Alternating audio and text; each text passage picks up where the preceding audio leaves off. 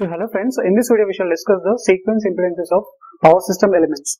Now each element, each element in your power system will offer a different sequence impedance to a different sequence currents.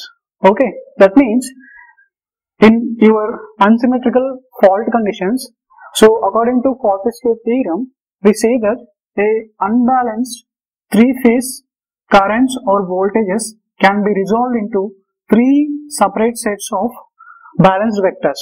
Okay, that means one set will be consisting of the three-phase balanced system of currents which is having a positive phase sequence or you can say the normal phase sequence and the other set will be having the negative phase sequence components and the third set which is a cophasal quantity will be having a zero phase sequence component.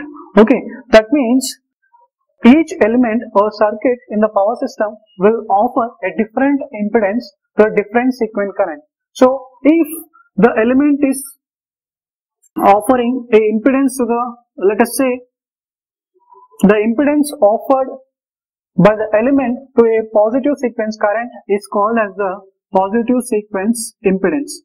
Okay, and here we will be using a subscript as 1. Okay, now the impedance offered by the element or equipment or circuit to the negative sequence uh, current is called as the negative sequence impedance. Here the subscript is 2 and the impedance offered to the zero phase sequence current is the zero phase sequence impedance. Okay, so that means here you can see in the balanced three phase system, in the balanced three phase system, as we are having only the positive sequence current and we do not have there the zero sequence component or the negative sequence component. Therefore, in the balanced three phase system, we are having only the positive sequence impedance. Okay, only the positive sequence impedance in the balanced three phase system. Whereas in the unbalanced three phase system, we are having the three impedances. What is one is positive sequence impedance, other one is the negative sequence impedance, the third one is the zero sequence impedance. Okay, now if we consider some circuits like if I say you for a linear circuit and a symmetrical, linear, symmetrical and static circuits, the positive impedance that is the positive sequence impedance will be equal to the negative sequence impedance. Okay, in the circuits of linear, symmetrical and static, linear means it must follow the principle of superposition and homogeneous principle. And symmetrical if I say in a circuit if you look from top to bottom or from uh, sidewards okay left to right then the circle must be symmetrical. So if in the transmission line if I consider let me say this is your R dx and we are having the inductance. This is L dx and in parallel we are having the conductance and the capacitance here. Okay the conductance and capacitance here. So this will be your uh, G dx okay and this will be your cdx so this is a uh, equivalent phase diagram of a transmission line okay. Now this circuit will be considered as unsymmetrical okay. Now for this if we draw the symmetrical circuit what we do here it is let me consider the resistance here r dx by 2 this is your inductance l dx by 2 and in similar we are having the conductance and this will be your capacitance okay? Okay this will be your uh, g dx and this is c dx. And again here we are having the resistance and this is inductance. This is r dx by 2 this is l dx by 2 okay? Now by looking the circuit from left to right or left uh, right to left it will look symmetrical so this is unsymmetrical and this is symmetrical. For such circuit also the impedances that is the positive sequence impedance and the neg negative sequence impedance will remain equal and for the static circuit the example is your transformer. Okay, we do not have the rotating parts in the static circuits. Now for these circuits uh, which are having the characteristics of linear, symmetrical and static circuits, the positive sequence impedance will be equal to negative, uh, negative sequence impedance provided the condition is the applied or the source voltages are balanced. Okay. Provided the applied of the source voltages remain balanced. That means when the source voltages or the applied voltages remain balanced, the sequence impedances of these circuits LSS are independent of the phase order. That means whether the uh, positive sequence current or the negative sequence current, we are in the sequence impedances. They say that we are independent of the uh, phase order. Okay. Now, uh, if we consider the zero sequence impedance that is Z0, okay, if we consider the zero sequence impedance Z0, this zero sequence impedance depends on the path taken by the zero sequence impedance current. Okay, zero sequence impedance current.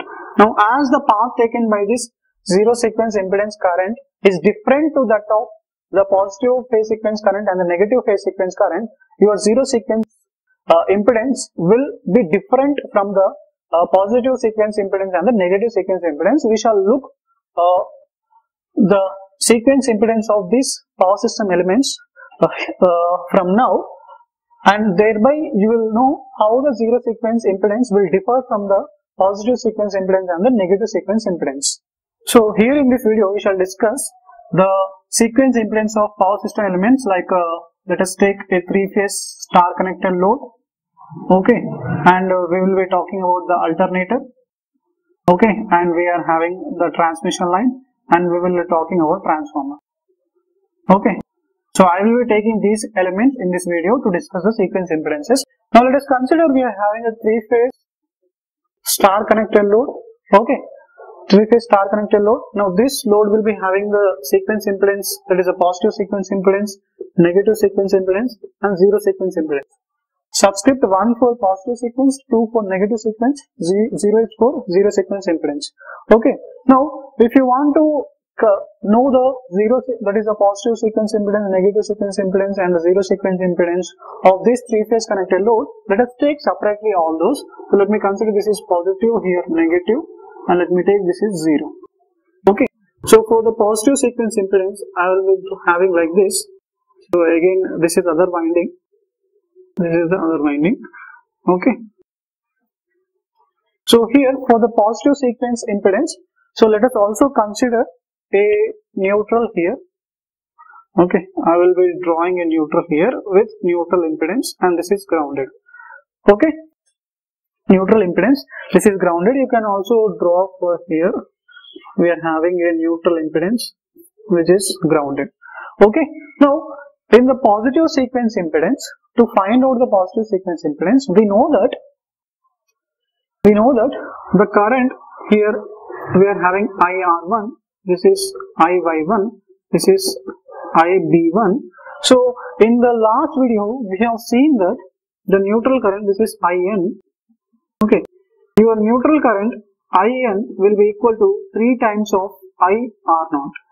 Okay, so this is the zero sequence current of the red phase. That means we are not having any positive sequence uh, current or the negative sequence current okay here because in our last video, we have discussed that the neutral current will be having the current as 3 times of IR0 and here we do not have any positive sequence uh, current or negative sequence current. Now when we do not have the positive sequence current or the negative sequence current, we do not have the impedance for that neutral current.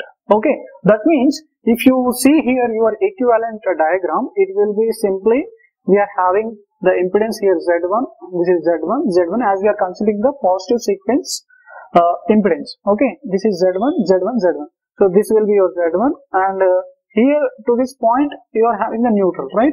And uh, as the neutral current does not contain any positive sequence current or negative sequence current, your circuit will stop here and this will be your VR 1 okay so this will be the equivalent circuit now again for here you are not having that is the neutral current again here will not be having any uh, negative sequence impedance. That means for again your negative sequence impedance also your equivalent circuit will be like this. This will be your Z2 okay this will be your VR2 right? Because why I am stopping here so we are considering only this portion here because your neutral current does not contain the positive sequence current or the negative sequence current.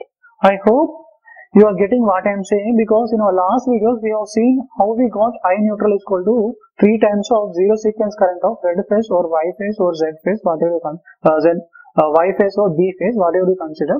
Okay now again for negative sequence uh, uh, to find out the negative sequence network we will be having the impedance as Z2 for the positive sequence impedance uh, we are having the impedance as Z1. Now in the zero sequence network here what we will be having is we are having a network of uh, this is the zero sequence impedance Z0 and again I will not stop here. I will continue further. So this will be my uh, impedance. Okay neutral impedance. And this is your ground. Okay. Okay and here we are having okay the zero sequence voltage okay. So here you you will be saying that you are having a current of I neutral.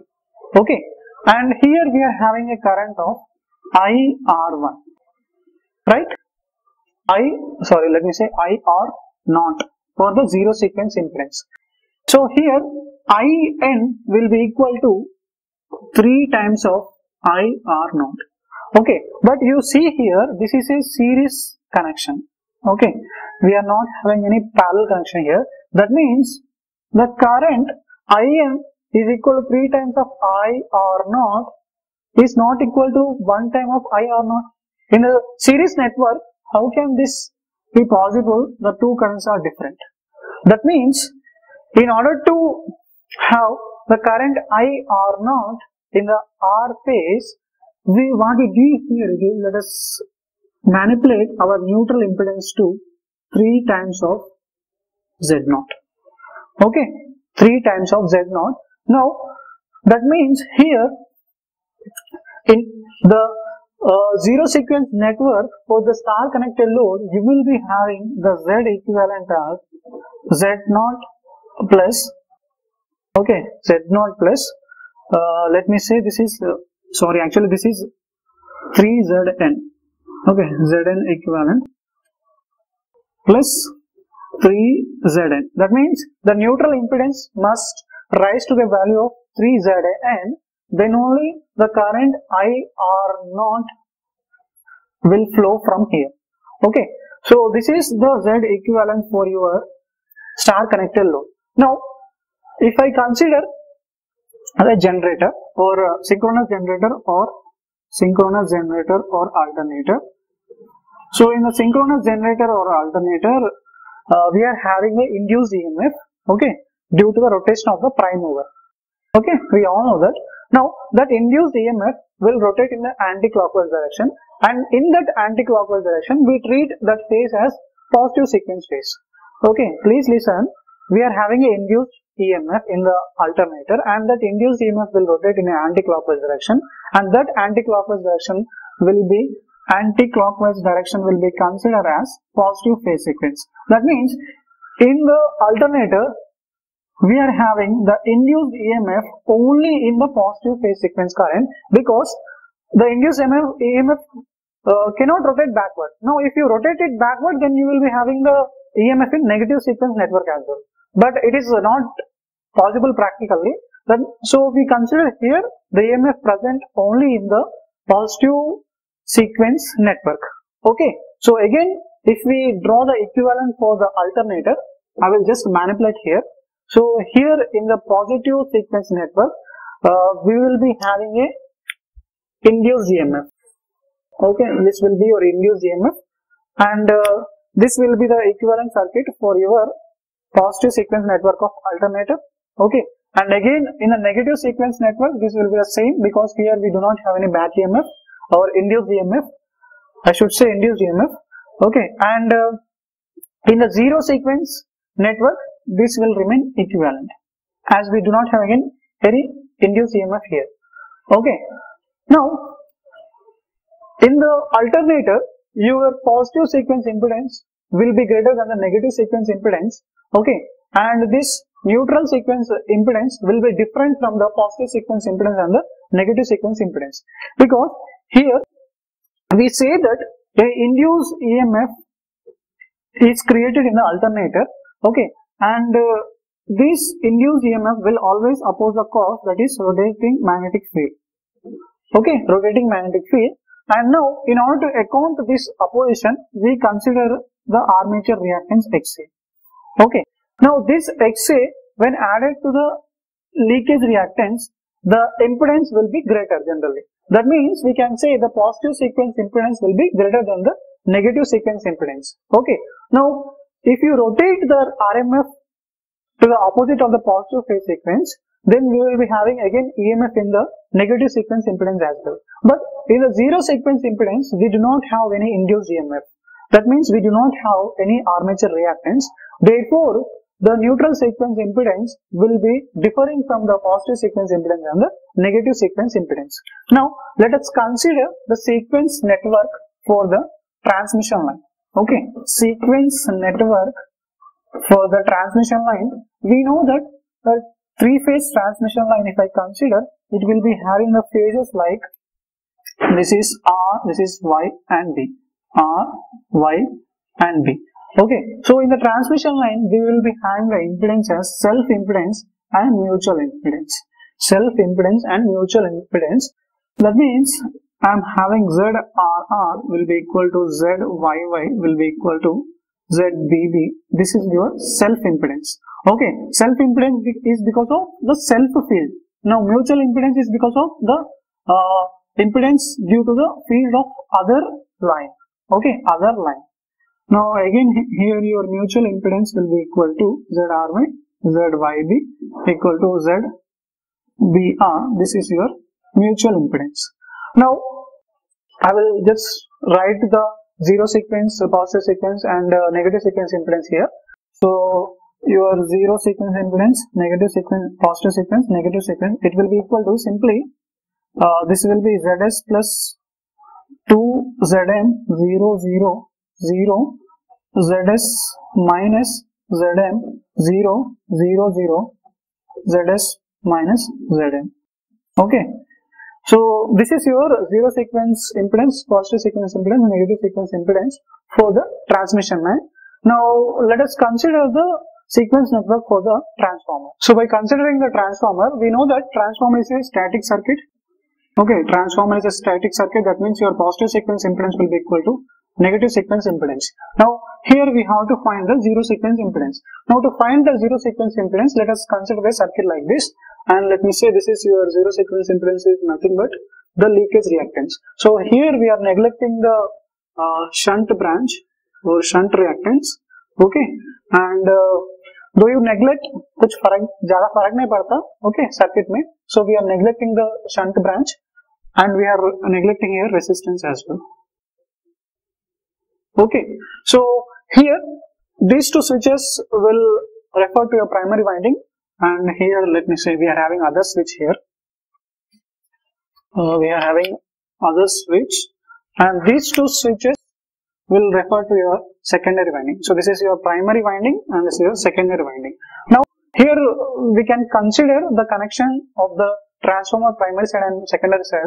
They can be star or delta connected okay they can be star or delta connected. Now when the connection is star connected okay or when the winding is star connected your series switch gets closed.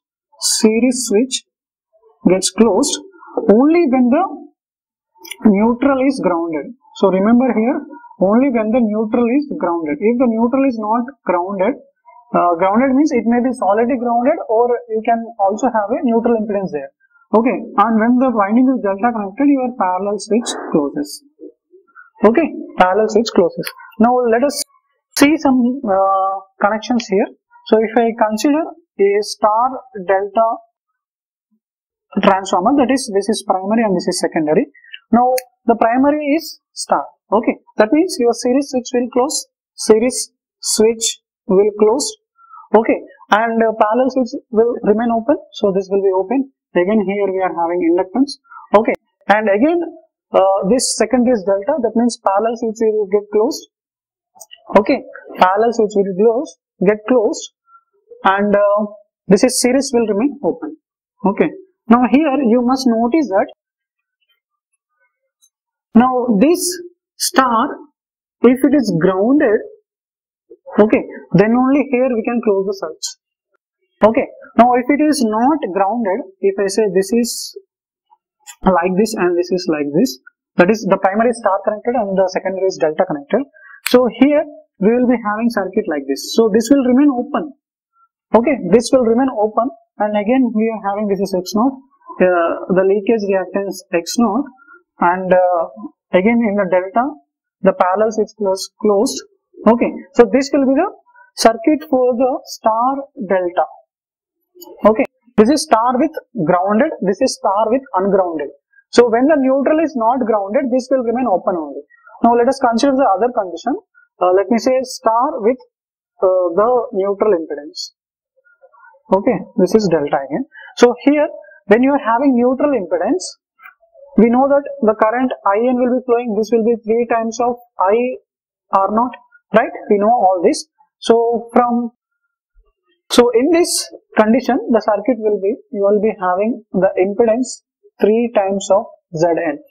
Okay impedance 3 times of zn and uh, this will get this circuit will closes okay and you will be having the impedance of 3 times of Zn in the star connected with neutral impedance. And again you are having the leakage reactance and again in the delta side the parallel switch gets closed so this will be your circuit okay this will be your circuit so by looking at these connections in the transformer you can able to find the zero sequence impedance uh, for this transformer so i hope we have discussed very clearly the positive, negative and zero sequence impedances of uh, the power system elements. I hope you understood well. Thank you.